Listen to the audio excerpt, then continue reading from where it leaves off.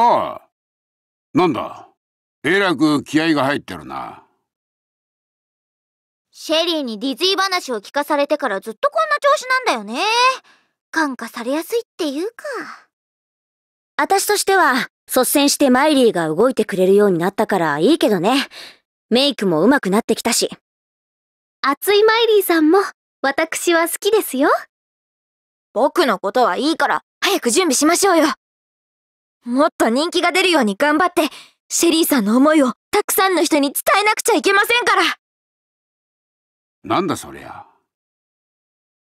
マイリー余計なこと言わないでマスターも何でもないから。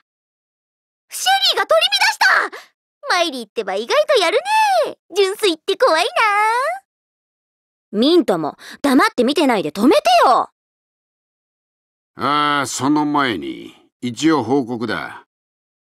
今日のデュエルギグの相手にドタキャンされちまってな。で、代わりのバンドが来たんだが。それが何か？そいつらが例のキワキワなんたらが。へえ、確かに見た目はインパクトあるな。あ？このおっさんたち誰？ああ、お前らの対バン相手だ。男のくせに女装までして客寄せか？恥ずかしくないの？オタクら。な、いいよ、マイリー。ほっとこ。こういうのは慣れてるから。でも、どうせ見た目ばっかで中身のないスカスカな音楽なんだろうけど、せめて場をしらけさせないように頑張れよ。そんなの、僕たちの音楽を聴いてみないとわからないでしょう。ああマイリ行こうみんな。僕たちの音楽で黙らせるしかないよ。僕は知ってる。出会ったばかりだけど、シェリーさんたちが本気で音楽をやってるって。だから、逃げちゃダメだ。僕も堂々と歌うよ。みんなが作った歌が好きだから。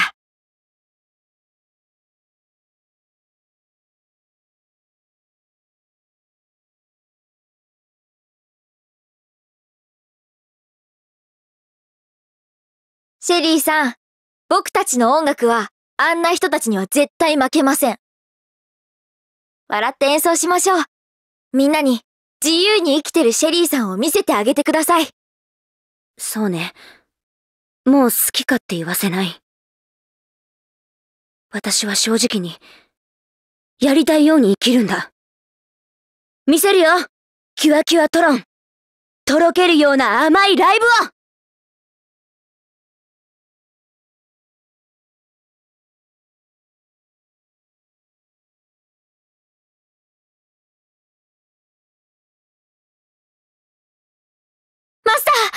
ー台湾の人たちは、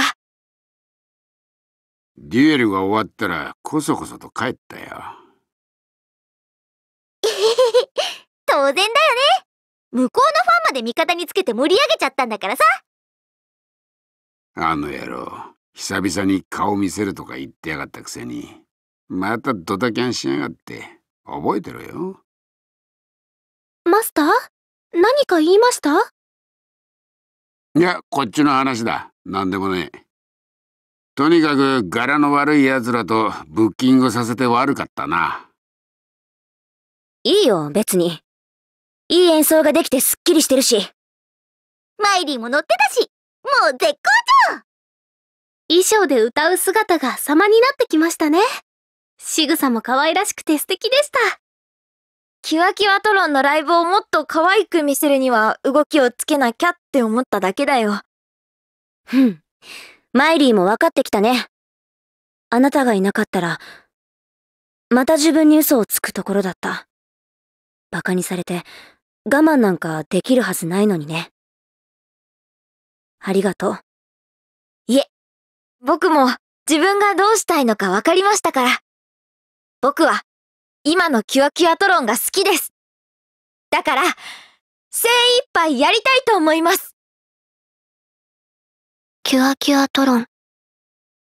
君は、この前の、今日は綺麗なトーン。楽しかった。よ。あ、言っちゃった。あれ？マイリー、いつの間にミコと仲良くなっちゃったの？え？そ、そういうのじゃないってっていうか、名前知ってるの？このライブハウスにしょっちゅういる子よ。マイリーって、意外と女にだらしないね。私たちにもデレデレしていますし、もしかして単に可愛い子に弱いんですか？うう、うるさいな。男はみんな可愛い子は好きなの？今のって、僕への告ミコが笑うとは。キュアキュアトロン。こいつは思ってた以上の広いものかもしれないな。ロックでワイルド。そ、そんな男らしい曲を作ってくれるんですか？大自然を生き抜いて、たくましくなるんだ。そうすれば、ロックな曲もできるはず落ち着いてください、ミントさん。お腹壊しますよ。マイリーが来て、私たちの空気も変わったかな。音楽に眠りはいらないんだよ。サンキュー